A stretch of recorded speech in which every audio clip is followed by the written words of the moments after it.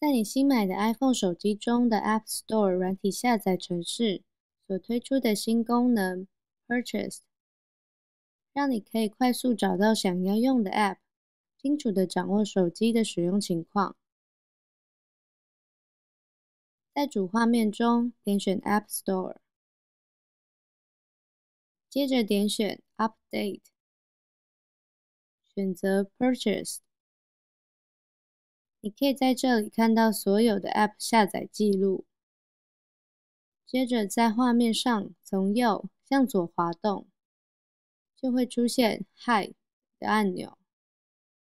按下后，该笔下载记录就会被隐藏了。想了解更多丰富的内容，欢迎造访 Say Mac。